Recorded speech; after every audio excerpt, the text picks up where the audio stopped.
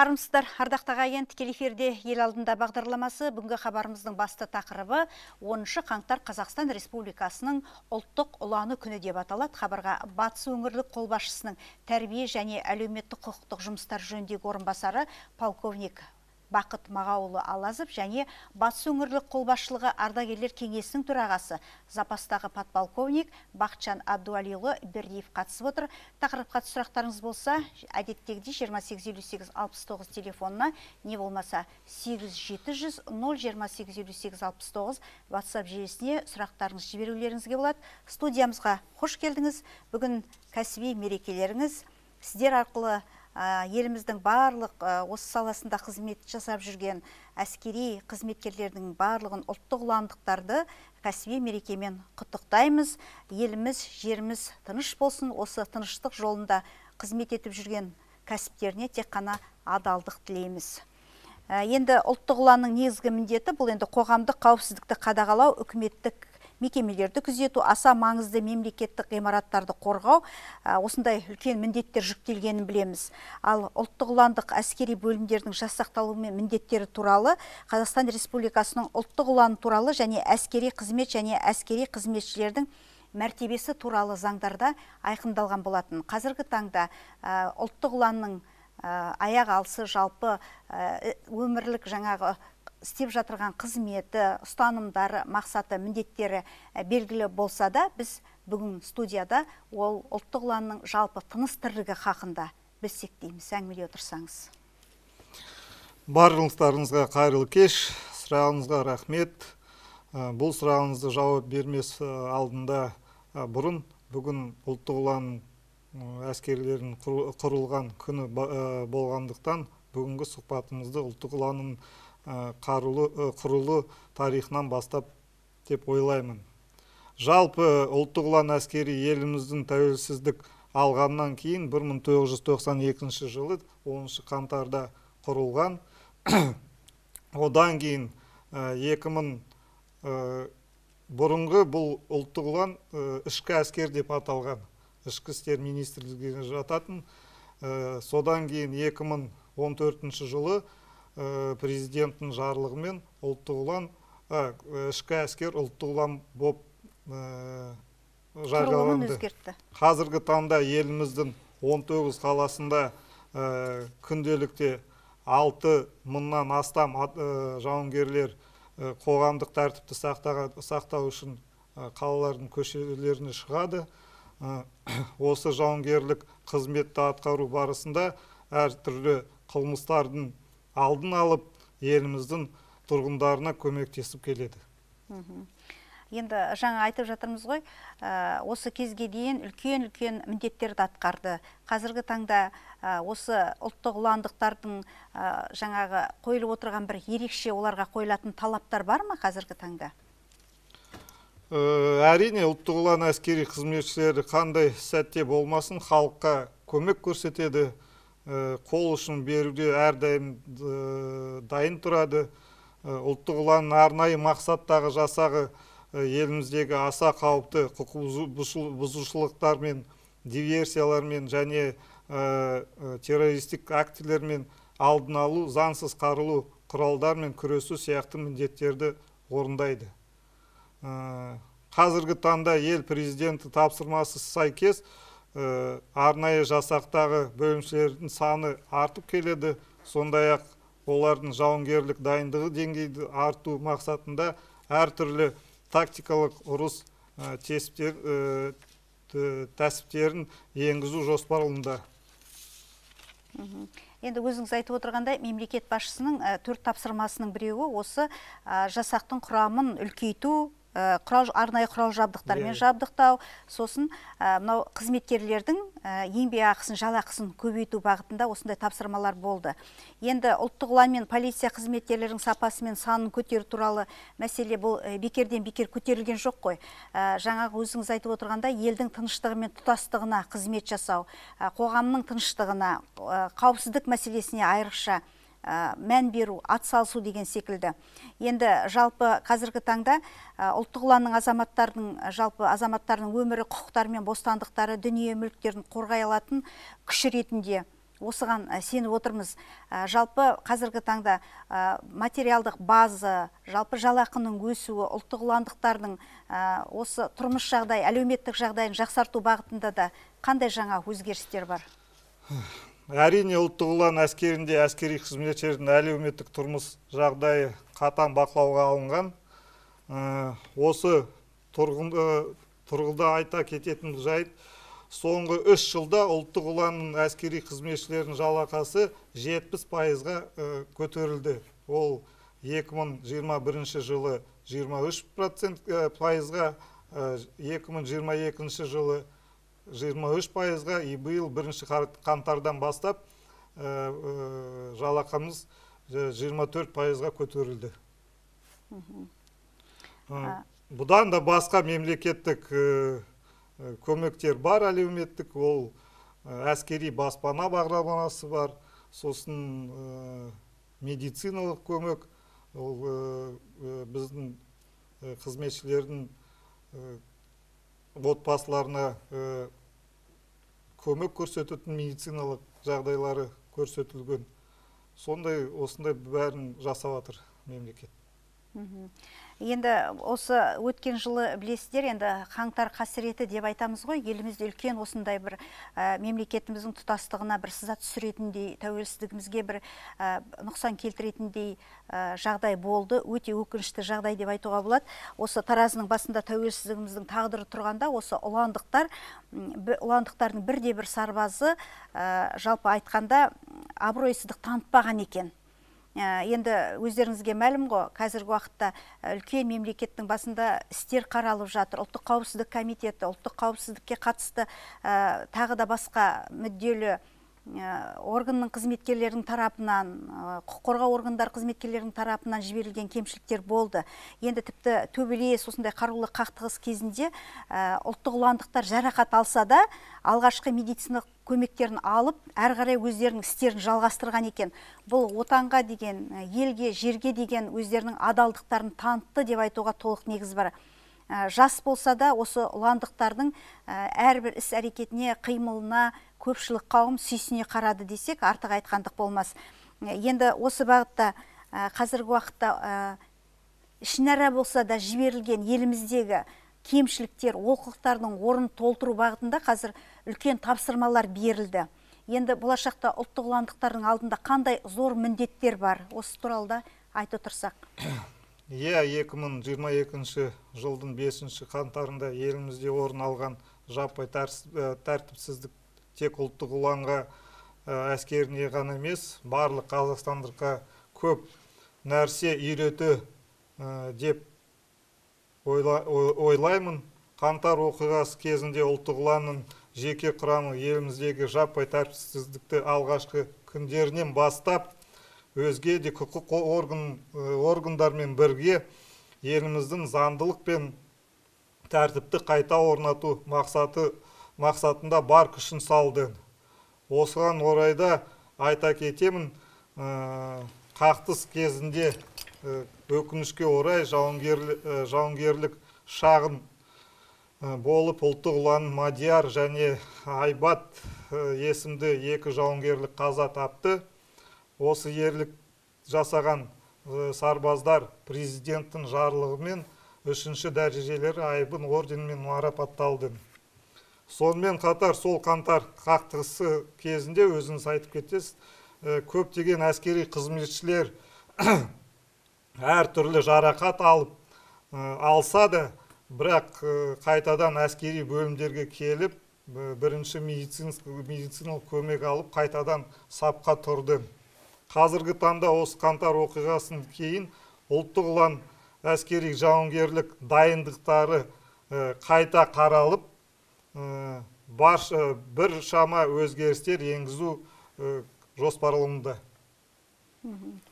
Енді осы жерде қазіргі таңда енді тағы бір мәселе. Бұл деген қазіргі таңда мына мына ұлттық ұланда мына кейбір аймақтар мен қалаларда әскери бөлімдер мен бөлімшелерде штат санының аздығы көптеген мәселелерге өзінің бір жаңағы төтенше жағдайлар тапсырманы орындау кезінде тағы да осындайда бір мүмкіндіктер бермей жатады екен. Қазіргі таңда біздің батыс өңірімізде жалпы бұл жұмыстар қалай жолға қойылған? Штат саны жеткілікті ма? Ә, жауынгерлерді қызметке алуда қандай ә, жаңа ұлттық ұландық- ұландықтарды ә, қандай талаптар қойылады? Жалпы батыс өңірлік қолбасшылығына орал ақтөбе атырау ақтау және жаңаөзен қаласында орналасқан әскери бөлімдер кіреді. Қазіргі кезде біздің өңірлік қолбасшылықта жүктелген міндеттерді орындау үшін штат саны жүктелген ә, жүктілік деп ә, айтуға болады. Жеткілікті. Жеткілікті ай- ай- айтуға болады. Дегенмен де өзімізде ә, жүктелген жауынгерлік тапсырмаларды сенімді орындау үшін қазіргі кезде ақтөбе және жаңаөзен қалаларында орналасқан әскери бөлімдердің штаттарының санын үлкейтірді Ә, қосты қайтадан.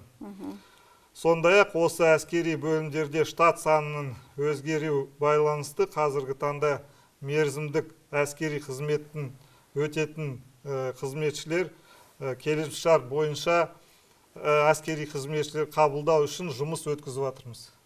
Сан Жалпы- қосылды. Көп па осындай ынталы әскери қызметте қалуға ынталы азаматтар? Әскери борышын өтегеннен кейін?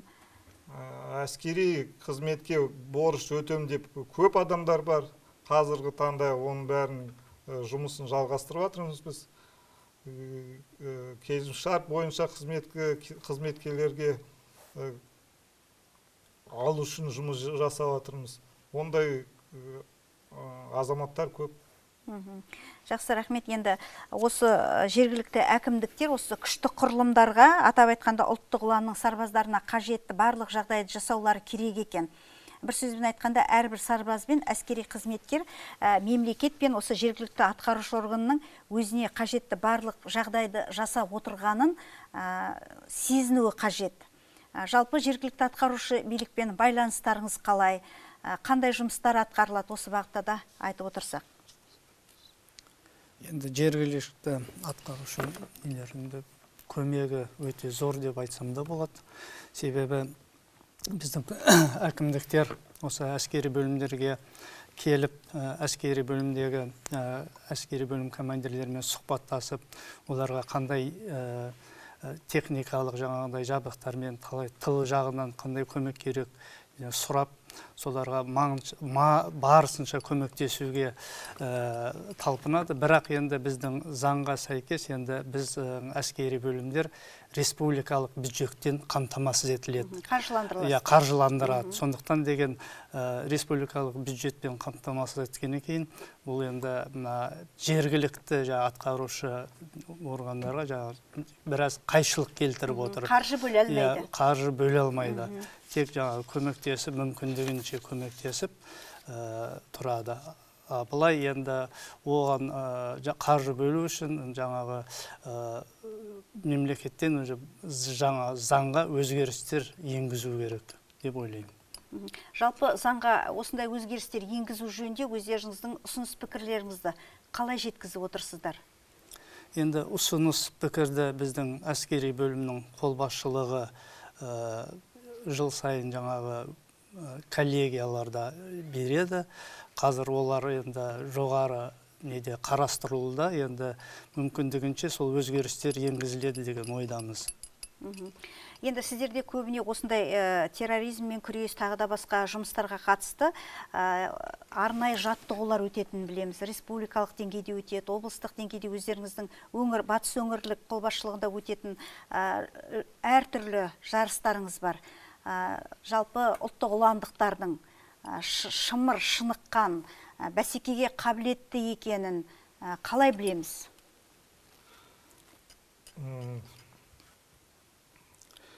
Қай? Жыл, жыл сайын жоспар, жоспар бойынша әр әскери бөлімде әр әскери өңірде жылға алты айға жылға жылдық жоспарлар болады. Сол жылда оқуда әдістемелік жиындар жаңағыдай тактикалық саптық э, жиындар қарастырылған үлкен жаңа оқу жиындар қарастырылған. Сол жиындарда талқыланып жаңағы әскери бөлімдермен сонда үлкен э, құрылымды жаңағындай оқу әдістемелік жаттығулар өткізіледі. Сонда бір бірімен жаңағы тәжірибе алысып э, сондай э, нелер қарастырылып отырады тек қана өзіміз емес ә, департамент па- ә, полиция департаментімен сосын басқа органдармен жаттығулар өткізіледі. Жоспар бойынша жыл сайын. Сол кезде бәрін бүкіл жаттығуларды орындаймыз. Енді ұлттық ұланның жауынгерлік жанұядай ұйысқан ұлттық ұлан елі мен халқына қорған деген өзіндік ұраны бар екен. Ә, жалпы осы ұранға қатысты не айтасыздар? Қалай ә, қай салада болмасын отан сүйгіштік және патриоттық ә, ұғымы үлкен маңызды рөл атқарады. Ә, соның ішінде әскер қатарындағы жауынгерлерді еліне деген сүйгішпелікпен өз отан патриотты болуға ерекше тәрбиелейді. Әскери жауынгерлердің бойына отын қызмет әрдайым оның, ә, оны қорғауға дайын болуға үйретеді. Жалпы әскери Ә, әскерде ең басты күш ол тәрбие. Тәрбие арқылы берілетін, біл- ә, берілетін білім оқу жаттығулар отанды қорғау сәтінде өз нәтижесін ә, көрсетеді бүгінгі таңда ұлттық ұлан ә, әскерінде тәрбие және идеология жұмыстар басты назарда оның ә, бізге үлкен көмек көрсететін ардагерлер кеңесі қандай жұмыс атқаратын бақытжан. Бақытжан әбдуәлиұлы енді жалпы батыс өңірлік қолбасшылығы ардагерлер кеңесінің төрағасы ретінде ардагерлер жалпы осы жас ұрпақты ел мен жерді сүюге отанды қорғауға қатысты өздерінің көп жылдық тәжірибелерін қалай бөліседі? Қалай тәрбиелейді ардагерлер кеңесінің жұмысы хақында да айтып отырсаңыз. Иә мен мына бас қолбасшының ә, орынбасарының жаңағы сөзін сәл жалғастырып кетейін. Мына отан отбасынан басталады дейді ғой. Біз отбасымызда әріміз жанұямызда деген балаларымызға деген мына от- ә, отан сүюді үйретуіміз керек қасиетін Ә, еліміз жерімізді қорғамасақ кім қорғайды сондықтан деген соны біз деген жас кезінен балдарымызға үйретуіміз керек. Ә, мына енді жаңа екінші сұрағыңызға жауап берсем енді біздің ардагерлер кеңесі құрылғанына осы ә, жиырма жылдың үсті болды. Ә, ардагерлерімізді біздің батыс өңірінде 385 ардагеріміз бар. Енді ардагерлер зейнетке шыққаннан кейін әскери бөлімдерге келіп ә, жаңа патриоттық жұмыстар атқарады. Ә, жаңағы ә, оқу әдістемелік жиындарға жоспарланған соларға қатысып жаңағы жас сарбаздармен офицерлермен сержанттармен өздерінің жаңа алған тәжірибелерімен бөліседі. Жаңағындай бейне баяндарды отырып көріп соны талқылаймыз. Басқа да көп жұмыстар атқарып жатырмыз. Енді ұлттық ұланға ә, тек жергілікті ә, жерден ғана алынбайды ғой ә, еліміздің әр өңірінен келеді. Жалпы олардың ата аналарымен байланыс жалпы қалай жолға қойылған қазіргі уақытта? біздің сарбаздардың ата ант аналарымен қабылдау рәсімі болады деген секілді. Ол жұмыс ә, біздің жас сарбаздар оқу пунктқа келгеннен бастап жұмыс жасаймыз әке шешелерімен ватсап арқылы ә, группалар болады. Оның ішінде бүкіл проблема қандай бәрін бүкіл сұрақтарды қоямыз жауап береміз да, ба- бақылауға алып отырамыз. Сосын әскери ант қабылдау кезінде бүкіл әке, әке шешелер біздің әскери бөлімдерге келеді. Сол әскери ант рәсіміне ә, келеді әке шешелері сол кезде солармен сұхбат өткіземіз. Ә, мынау әскер әскер біздің ардагерлер кездеседі әке шешелерімен. Бәрін бақылауға ұстап отырамыз. Бірге мынау ардагерлермен бірге ата аналармен бірге. Қазіргі жұмыс сондай өткізіліп жатыр енді бізде енді көп сарбаздар енді көп сержант кіші командир болсын офицерлер болсын енді өздерінің жаңағы пікірлерімен мүмкін бөлісе алмайды кейбір кезде. Но бізбен ардагерлермен жаңағы бөлісіп айтып біз командирге айтып соны шешуге тырысамыз жаңағы айтып жатыр ғой ата аналары телефонын алып солармен бірге ата аналарымен хабарласамыз өзіміздің телефонымызды беріп. Енді ол үлкен жұмыс конечно ол енді жаңағы оң жұмыс атқаруға біздің әскери бөлімдердің жаңағы тапсырмаларды орындауына үздік орындауына үлкен үлес қосады деп санаймын. Енді әскери мекеме болғасын көбіне жабық мекемелердің санатында ғой. Кез келген адам еркін кіріп шыға алмайды.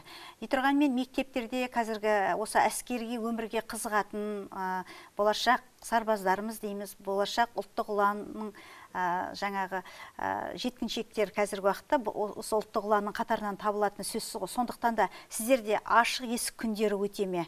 Оған кімдер шақырылады? Немен таныса алады? Жалпы осы бағытта да айтып отырсақ. Ашық есіктері бізде жалпы өткізіледі. Мынау әскери ант қабылдау кезінде колледждің студенттерін шақырамыз мектептің оқушыларын. шақырамыз. Сол кезде ол келіп біздің қару жарақпен танысады. Қалай солдаттар біздің казармада қалай тұрады бәрін соны көрсетеміз. Асханаға кіргіземіз қандай тамақ береміз бәрін көрсетіп бүкіл әскери өмірді осы студенттермен оқушыларға көрсетеміз. Ашық есік ол болып тұрады. Болып тұратын болғанда әскери ант қабылдау кезінде сосын белгіленген бір уақыттарда ғана мемлекеттік нелер мерекелер болғанда сол кезде шақырамыз. Одан не бейне роликтер көрсетеміз біздің ұлттық ұлан туралы. Сондай жұмыстар бәрін өткіземіз. Енді жалпы айтып жатырмыз ғой енді өздерінің негізгі атқаратын міндеттерімен бірге әскери патриоттық тәрбие жұмыстарына айрықша мән берілетінін білеміз. Сонымен бірге осы әскерилерді тәрбиелейтін мынау патриоттық әндер қазіргі таңда жалпы мемлекеттік тілде орындалатын әндердің қатарының көбейгенін білеміз. Өйткені қазіргі таңда біздің ұлттық ұландықтар керемет әнұраннан бастап осы елді жерді сүюге ата ананы құрметтеуге арналған жақсы жақсы керемет әндерді орындап жатқанына куә болып жатамыз. Осы бағыттағы жұмыстарға да тоқталсақ. Осы бағыттағы жұмыстар ол біздің әр әскери бөлімде клуб бар. Клубтың клубта осындай біздің топтар болады. Тик ток түсіреді. Сосын патриоттық әндер айтады. Бейне роликтер түсіреді. Сондай бүкіл жұмысты жалғастырамыз біз. Ол бұрыннан келе жатыр. Бірақ биылдан бастап біз уже тик ток түсіріп жатырмыз бәрін әлеуметтік желілерге саламыз. Әр әскери бөлімде инстаграм каналы бар өздерінің. Әке шешелері соған бәрін инстаграмда бар бәрін көріп отырады. Не істеп жатыр сарбаздар? Апта сайын ай сайын ай сайын новостной лента шығарамыз.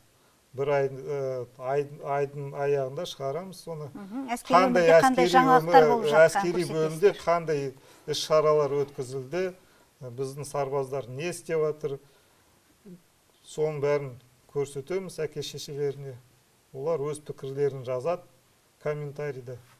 Солай жұмыс жасап жатырмыз енді қазіргі уақытта әскери киім туралы олардың ішіп жейтін тағамдары туралы сұраудың өзі артық деп ойлаймыз. Дей тұрғанмен бүгінгі мүмкіндікті пайдаланып жалпы қазір қалай жалпы? Жалпы жағдай киімдері қалай? киім бәрі бәрін киімі жылдың төрт мезгіліне сәйкес киінесіз? Төрт мезгіліне сәйкес киінеді. Әскерге келген келгеннен бастап бәрі бүкіл киім кешегін береді. Аяқ киімнен бастап бас киіммен бітіреді. Қысты күні қыс киім жаз күні жаз киім. Тамаққа көшсек енді беш бармақ береді дейміз айтпаймыз бірақ бүкіл тағамды құнарлы құнарлы калорийна сәйкес бәрін беріледі. Балығы бар жұмыртқа басқа калорияға сәйкес тағамдар бәрі беріледі біздің сарбаздарға. Енді осы бір ақ жылдың ішінде осы әскери қызметте болғандар есейіп ержетіп өмірге деген көзқарастарын қалыптастырып шығады. Әскери өмірдің ерекшелігі қандай жалпы? Азаматты тәрбиелеу бағытында артықшылығы туралы айтып тұрсаңыз. Енді әскерде қызмет етіп ә, ә, елге келген жігіт пен әскерде қызмет етпеген жігіттің ә, Арасында арасында айырмашылығы өте көп. Ә, себебі ә, әскерде қызмет еткен шымырланып ә, ә, ересек болып келеді деп ойлаймын. Себебі әскерде деген мына ел қорғау жер қорғауды үйретіп шымырланып әскери жаңағы ә, тәртіппен өмір сүргеннен кейін өзгеріс өте көп болады деп ойлаймын. Енді әскерге бармаған жігіттеріміз де бар ғой шымырлы ә, намысы. Өзін өзін иә дамытатын. өзін өзі дамытатын біздің ә, қазақтың жігіттері көп. Но сондықтан да әскерде қызмет еткен ә, жігіт ол ә, нағыз қазақтың ер азаматы деп санауға болады. Ұлттық ұланның кәсіби мерекесін қалай өткіздіңіздер? Қандай айтулы шаралар өтті? Ұлттық ұлан бүгінгі таңда бүгін бүгін өткізілді ғой. 31 жылға толды біздің құрыл- құрылғанына ол әр әскери бө- бөлімдерде ә, ме- мерекелік концерттер өткізілді. Ә, офицерлер келісімшарт бойынша әскери қызметшілер солдаттар бәрі марапатталды.